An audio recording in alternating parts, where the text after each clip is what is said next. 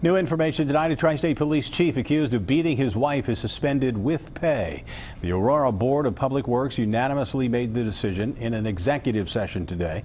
Chief Bryan Fields faces domestic battery charges. He's accused of punching his wife in the ribs, head-butting one of her sons, and punching another in the head. As part of the suspension, he must also give up his gun, badge, and work cell phone.